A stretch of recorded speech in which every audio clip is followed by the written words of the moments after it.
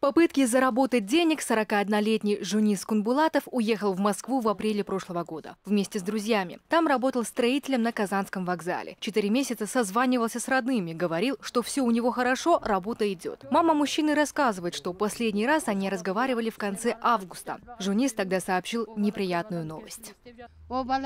Он сказал, что его обокрали, вытащили все, документы и деньги. Я хотела ему выслать средства или отправить родственника, чтобы помог, но он категорически отказался. Материнское сердце подсказывает, что с ним что-то случилось. Я не могу никак успокоиться. А что, если он стал бродягой там? А если его убили?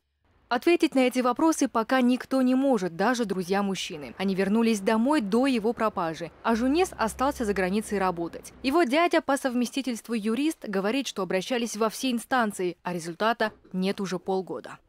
Россия Писали заявление в полицию Инбекши-Казахского района Алматинской области, в посольство Казахстана в России, в наше Министерство иностранных дел. Везде знают о его пропаже, говорят, что занимаются поисками, но мы не видим, что эти поиски ведутся. В Министерстве иностранных дел нам сообщили, что вопросы пропажи людей за границей в компетенции МВД. Правоохранительные органы стран занимаются поисками своих граждан без участия дипломатов. В Министерстве внутренних дел пока не отвечают на наши звонки.